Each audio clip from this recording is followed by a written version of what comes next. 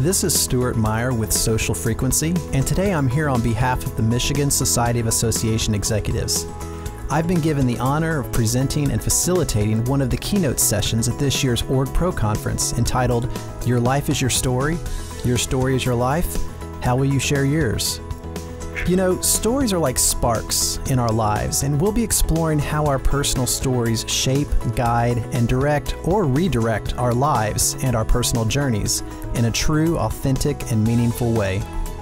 We're also looking at how association and association leaders can use the art and science of storytelling to define and strengthen organizational culture, foster identity, belonging, participation, loyalty, and influence. As you might expect, this audio interview and keynote session will center around inspiring stories and storytellers. And today we are extremely fortunate to have with us one of our amazing storytellers, Bill Milliken. And usually this is a point where I would provide a brief introduction and backstory. But in truth, Bill's life has gone in so many interesting directions, I thought I'd let the story reveal itself as we dive right into the conversation. Welcome, Bill, and thank you so much for joining us today. Well, I'm glad to be connected, Stuart. Definitely. So, when you were growing up, what were your most authentic personal interests? I grew up in northern Michigan, and uh, so it um, it was a uh, rural and, and resort sort of character to the neighborhood, and uh, snow came every uh, every November and stayed until April, and at least then and skiing was a big part of our lives. I used to race. I used to ski competitively. High school ski team, uh, Central United States Ski Association, and uh, skiing was a, a big part of my um, high school level um, regimen until I went away to boarding school in Connecticut, and that sort of put the kibosh on competition skiing. was was it a tradition in your family, or is it just something you just gravitated towards? It was a tradition. My mother, who was a Denver girl, uh, was a ski instructor, and so she used to take me in tow on Saturday mornings to the ski hill. That's all we have in Michigan, and uh, turn me loose. And and so at three or four years old, I was on skis and have been ever since. Awesome. So that so that sounds like that was your spark that that fueled these interests at such a young age. And then, of course, the seasonal nature of it all, it was sailing in the summer. The Great Lakes, we were off of Lake Michigan, and uh, I used to race Lightning class sailboats and, and uh, spend an awful lot of time on the water. So that was the other part of the formative years in Traverse City, Michigan always on the move and I, I, think that as we continue the conversation we'll see that there's a little bit of a trend here so. But uh, continuing on growing up what were some of the things you always wanted to accomplish in life when you think back? Those things that naturally came to you. I had a, uh, a real hankering for travel. Um, we used to do uh, long family trips in the car and um, uh, I enjoyed uh, going down to uh, the Carolinas, uh, going back out to Denver to see my grandparents, not to mention skiing in the Rocky Mountains. So travel. A little, little bit better than those Michigan ski hills, huh?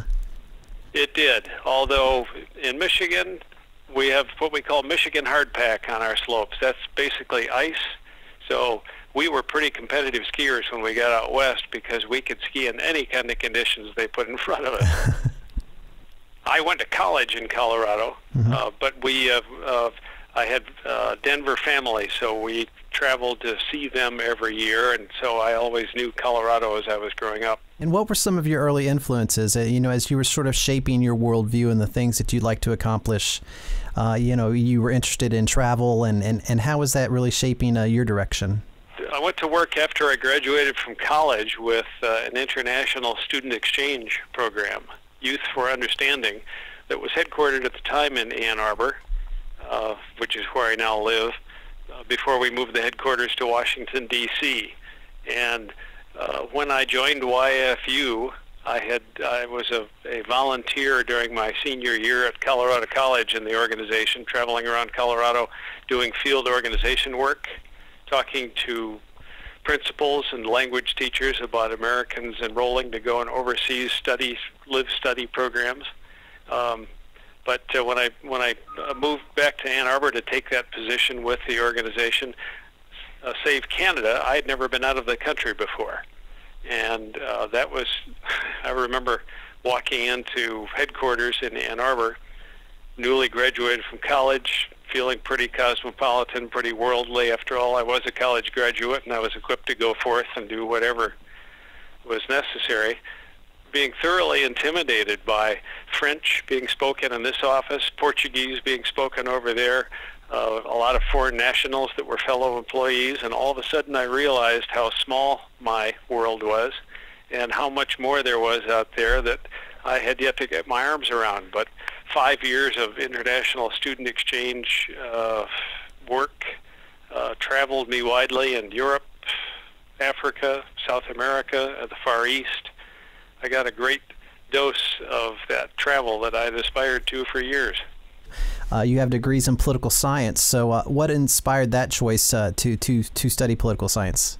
Well, I, I grew up in a political family, and um, when I was uh, at Colorado College, my father was running for governor in Michigan, and under the auspices of the political science department at Colorado College, I took a semester off and worked in his campaign and then wrote a 25-page paper on the uh, organization and administration of a, a, gubernatorial campaign in Michigan. So that's one of the things that helped to set the stage. Um, I, uh, I was a political science major at Colorado College, but uh, my real aspiration at the time was to go on and uh, get a graduate degree in urban planning landscape architecture, something in that area.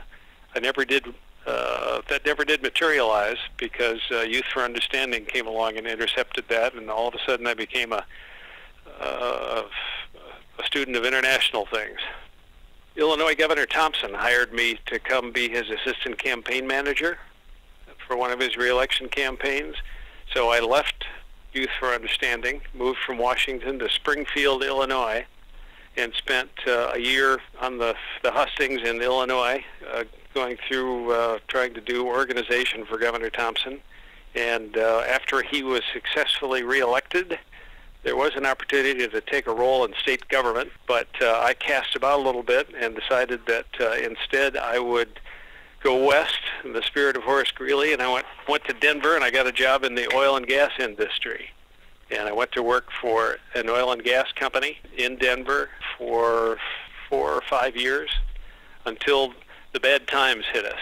In in 1983, uh, the price of a barrel of oil plummeted.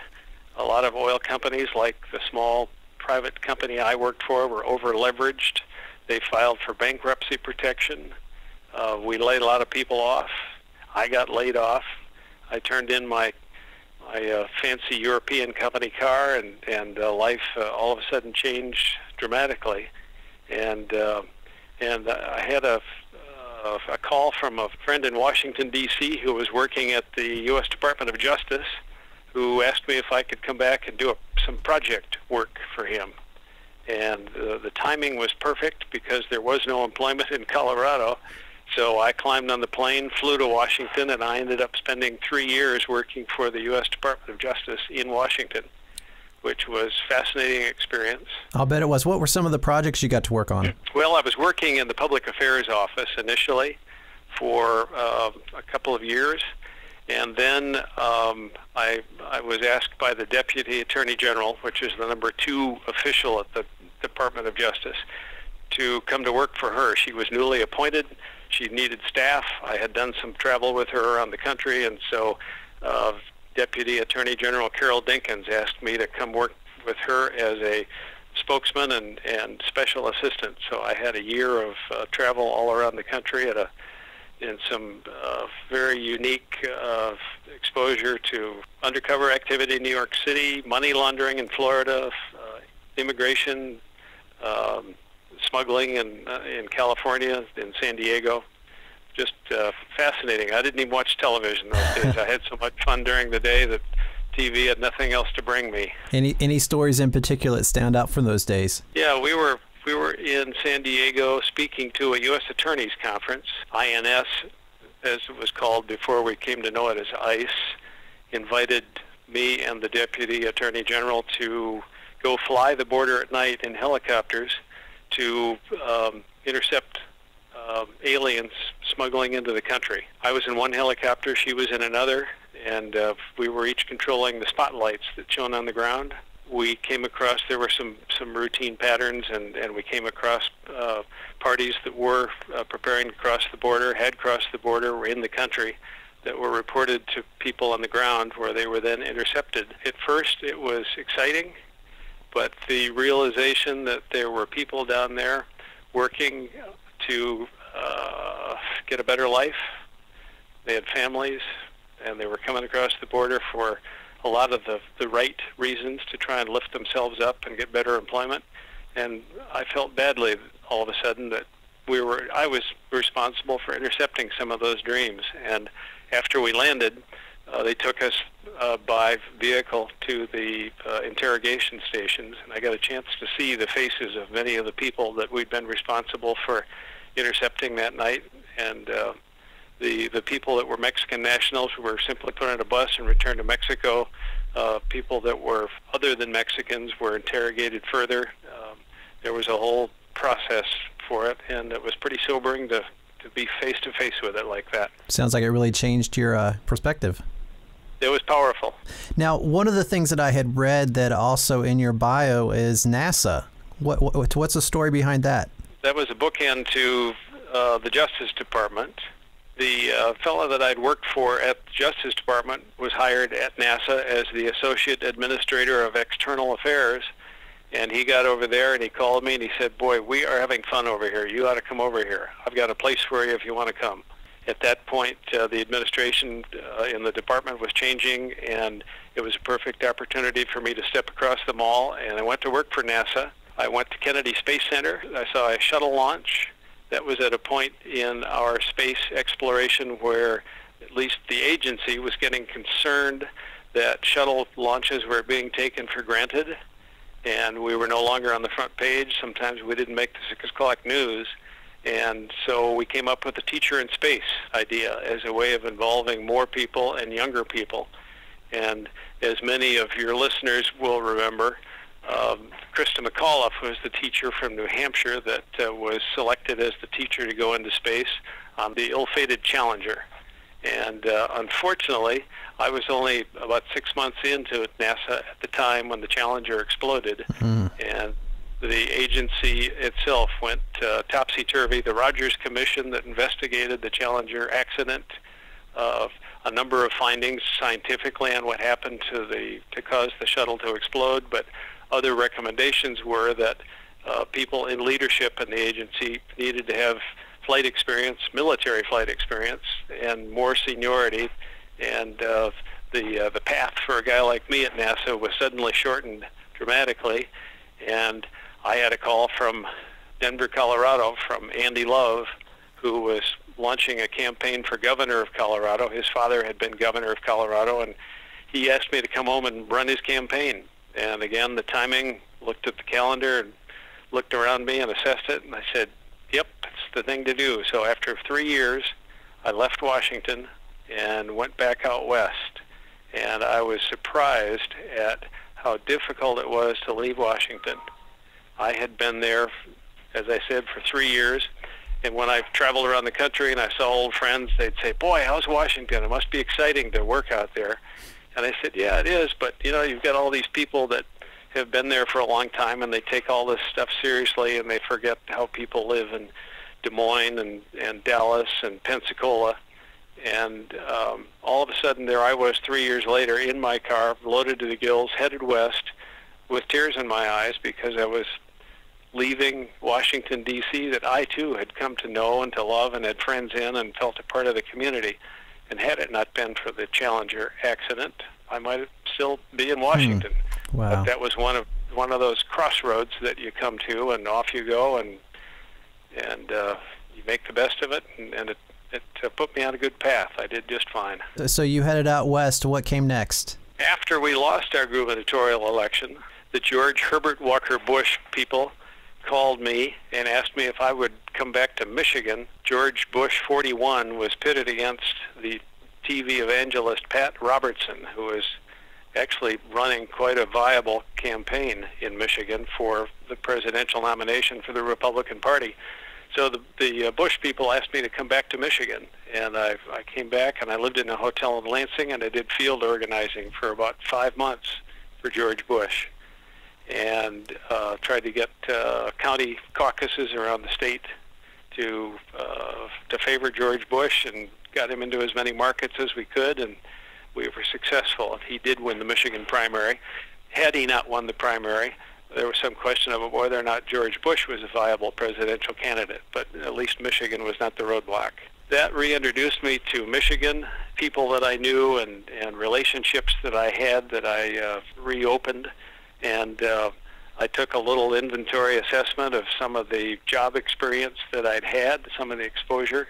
And, uh, and I thought that um, given my oil and gas uh, experience and fundraising, I'd done a lot of writing I used to be a I used to be a radio and television news reporter at one point, so the written word I appreciated, and uh, I didn't have the finance piece, but I thought that maybe real estate was a, a place where I could land. So I set out on a campaign of my own in Michigan in my car, traveling around to meet uh, real estate developers, bankers, brokers, real estate attorneys, find out where there might be a role for me, and uh, after a couple of months, I've, I uh, was uh, employed in Ann Arbor by a large real estate development company that agreed to take me in and teach me the basics of real estate and uh, let me let me do some writing and apply my other talents for them. So that was uh, that was my introduction to real estate. And then in uh, after five years or so, I I ran the flag up the pole and started Milliken Realty Company in 1996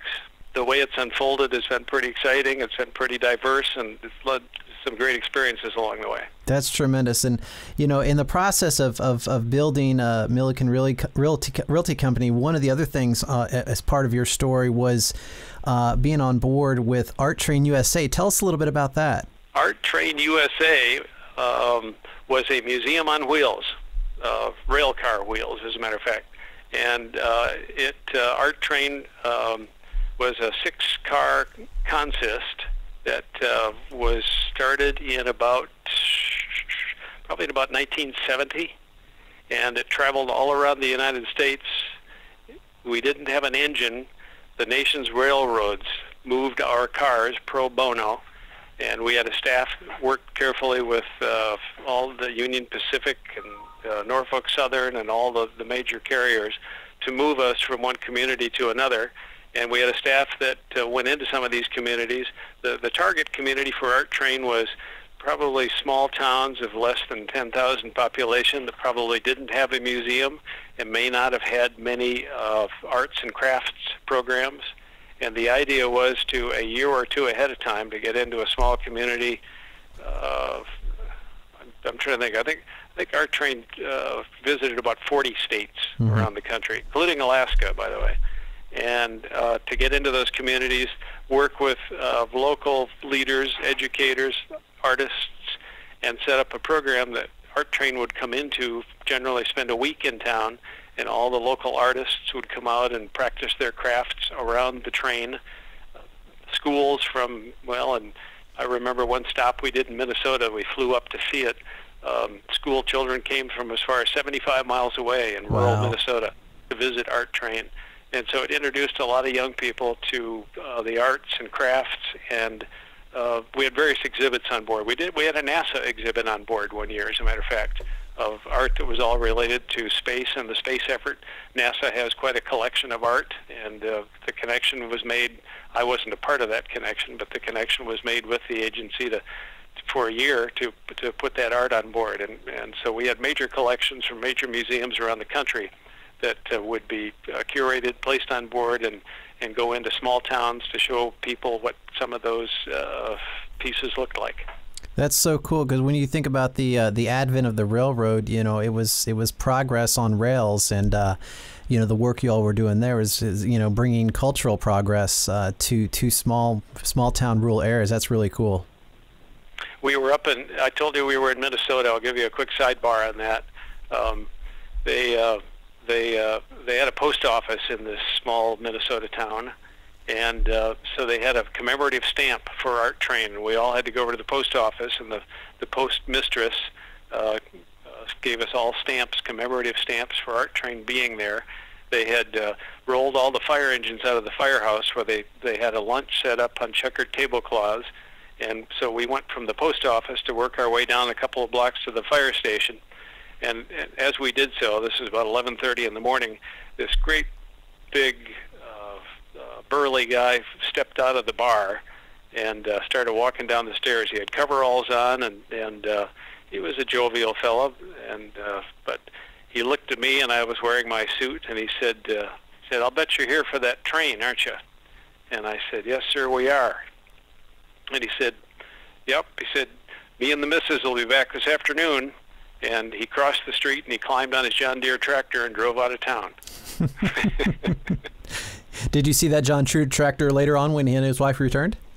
I think he came back in a pickup. no, I didn't actually. I didn't see him again. But whereas I was first worried that I might have a uh, a fellow with a few beers under his belt to deal with, he turned out to be a perfectly jovial fellow, and he was coming back to see our art exhibit. So well, I was su- pleased. Such a visual story, and uh, you know, such a great example on on. Uh, you know the ways in which uh, you know we connect our country together from small town to large town and at all points in between along those rails. I, I, think it's just such a cool program that you were part of.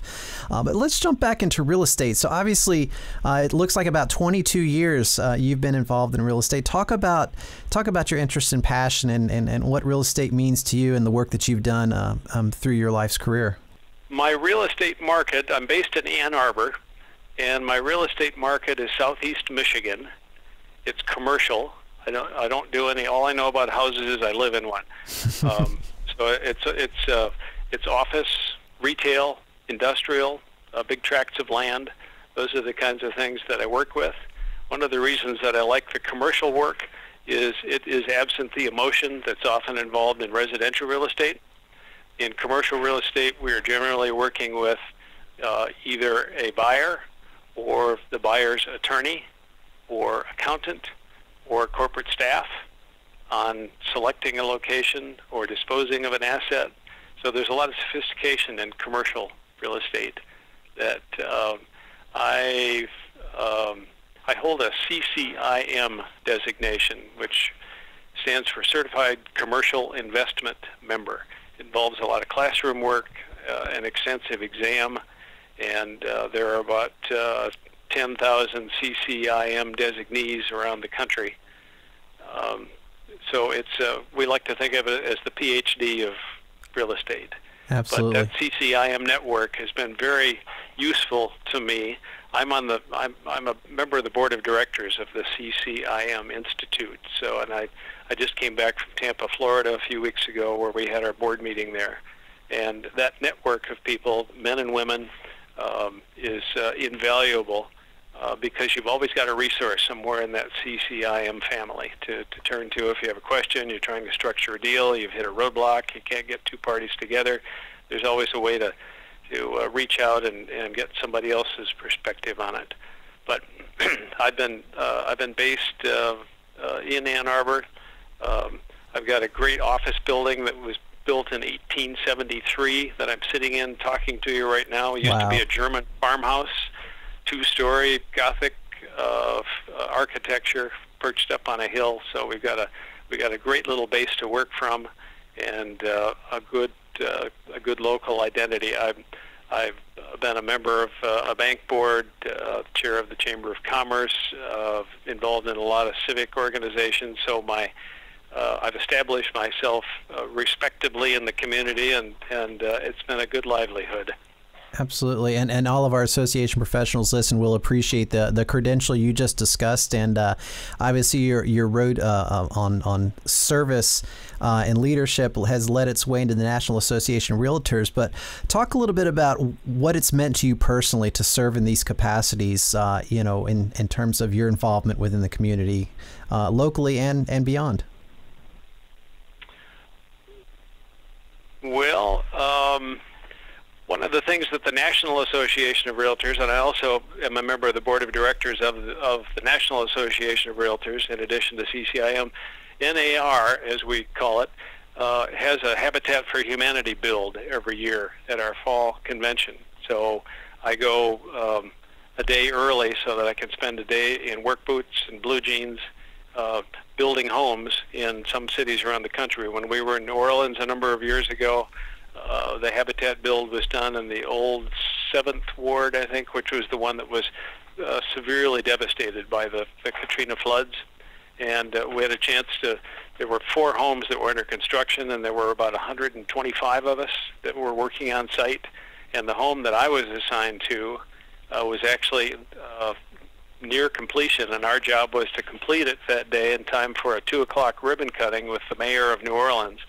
So I got a chance to see a woman and her two children who uh, were the buyers of the house, who had also, according to the requirements, put in some labor and, and uh, spent some time on site helping to build it. I got to see her on the front porch accepting the key from the mayor with tears in her eyes and her chest just racked with sobs over the the idea that uh, she and her two children would have a home. And it sounds simple, but it was very emotional, very moving to be standing there watching that unfold. So that's that's one of the places where gratification comes back. I'm a member of the board of uh, New Detroit. New Detroit is a uh, Detroit 501c3 nonprofit that was uh, first formed right after the Detroit riots in 1967. Um, when uh, Governor George Romney wanted a, a, a, panel convened to determine what went wrong in Detroit, what needed to be fixed, what needed to be changed. But New Detroit survives today, um, and it's a coalition of, uh, area leaders uh, working for racial understanding and racial equity in Detroit.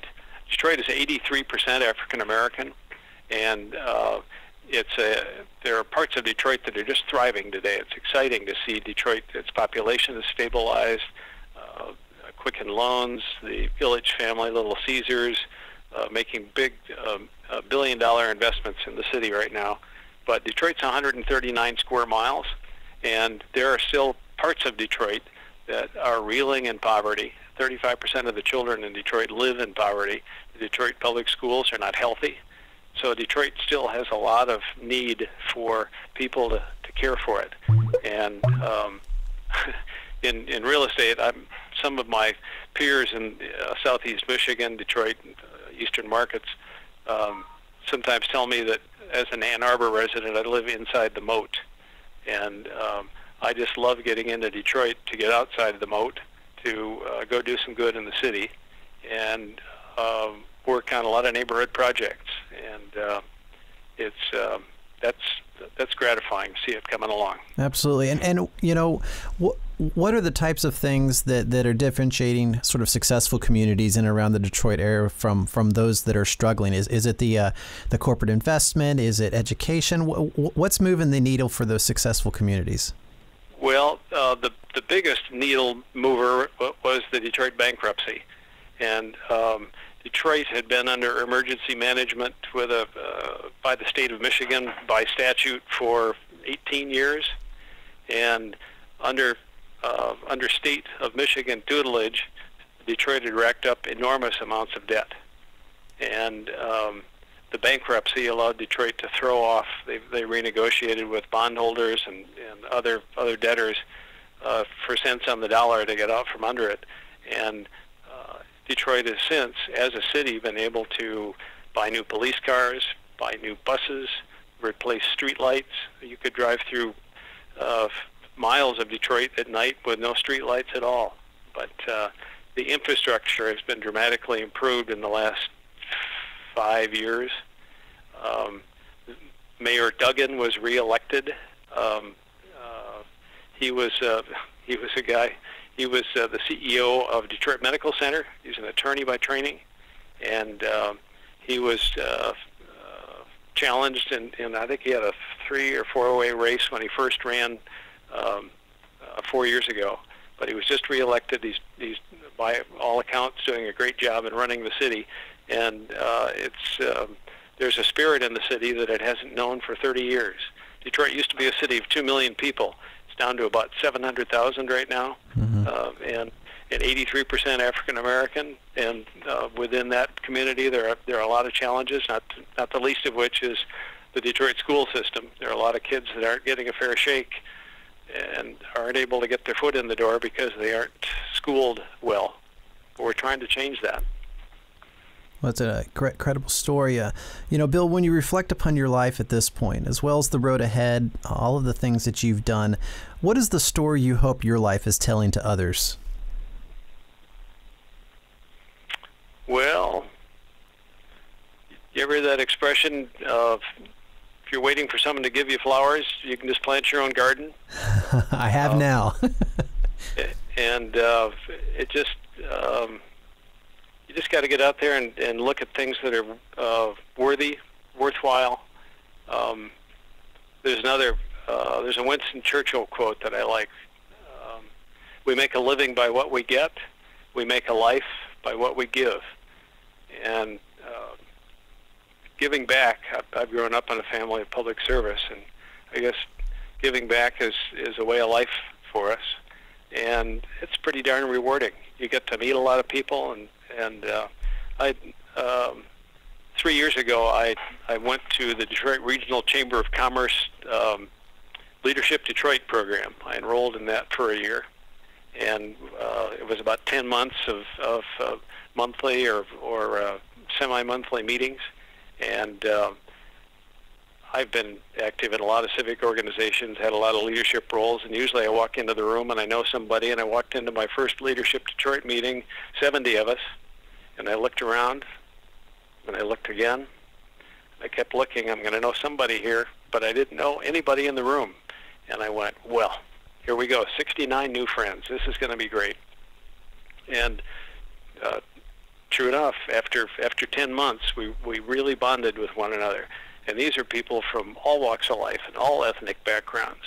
Uh, some were not native English speakers. And uh, it was just a, a tremendous racial, cultural, socioeconomic mix of people that were selected because they were sharp, they were talented in their own uh, lanes, they were high achievers, and we all got a chance to mix it up and get to know each other. And uh, so that's that's where a lot of my appreciation for the city of Detroit came from was having that total immersion in it. That's uh, it's so inspiring and you know deepening our, our understanding and appreciation for each other. You know that's one of the things when I look out and you know we, we have comparable backgrounds as we were talking about earlier, uh, working in politics. Uh, you know the problem, yeah, I think one of the challenges today uh, in Detroit or anywhere else in the country is we just don't talk to each other anymore and we don't seek to understand each other. But when we do, powerful things happen. Communication's key. Absolutely. You got to get in there and open your mind and listen. Absolutely, absolutely. Well, just one one last minute, and I would be remiss if I did did not bring it up before we leave off. But uh, I I did look on your Facebook page and saw a photo of you in a 1927 Chrysler Le Mans race car, and uh, I also understand you're a licensed private pilot. Uh, t- talk about your passion for race cars and planes. Oh, now now we get to the fun stuff. Uh, I, I couldn't leave it out. When I was when I was uh, in junior high school. Uh, my father and I took a an Evelyn Wood reading dynamics class in Mount Pleasant, Michigan at Central Michigan University, about a two-hour drive from our home in Traverse City. And we were on the way back one afternoon after our class. These are all two-lane roads connecting Grand Rapids and Traverse City. And we were passed by a Jaguar XK150, which is a 50s era two-seat Jaguar sports car that just had such resonance from its exhaust. It just imprinted on me just the magic uh, of how much fun that car was. And that's the first that I can put my finger on when I became interested in cars. And we had a neighbor growing up who had an Austin Healey that he raced on the weekends. And I marveled that anybody that I knew actually understood how an internal combustion engine worked. So I used to go over there and look over his shoulder all the time and learn a little bit more about cars. And so my passion for cars really stems from my high school aged years. I bought my first car.